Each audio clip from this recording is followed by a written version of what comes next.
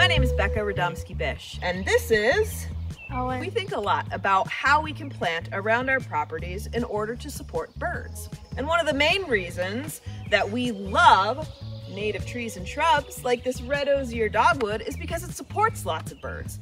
Oh, and what kind of bird have we seen nesting in these shrubs almost every year? Gray catbirds. Yeah, gray catbirds. Bird!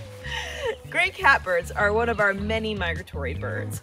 Many of our native regional and migratory birds love trees and shrubs. They use them for nesting and foraging, even escaping predators. So if you have space on your property, consider adding a native shrub like the red osier dogwood or another variety of tree or shrub that does well in your area. This red chokeberry will produce a beautiful red berry after all the pollinators enjoy obviously the flowers that you see right now.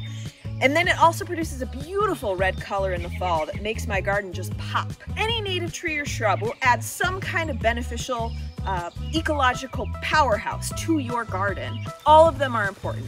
And the reason they're important is because they are the host plants for butterflies and moths, which will lay their eggs on the leaves. Those eggs become caterpillars, and 98 to 96% of all North American birds feed their babies caterpillars during nesting season. There's a couple of really great tools to research what would be a great native plant for your property in terms of trees and shrubs.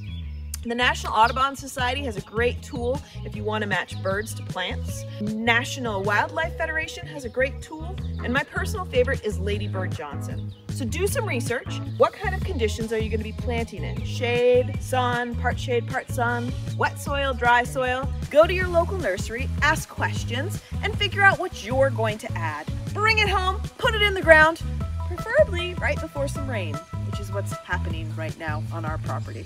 So I better get my next native plant in the ground. Good luck, enjoy your planting. You won't be disappointed by the biodiversity it supports.